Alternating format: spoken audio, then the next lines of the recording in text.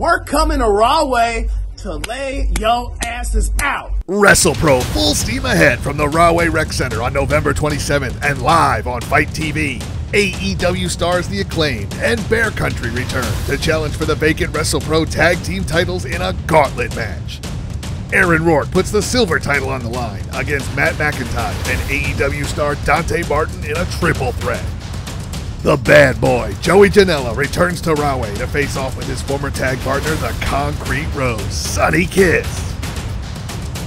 The rematch. The premier athlete, Tony Nese, seeks revenge against Dr. Bobby Wayward.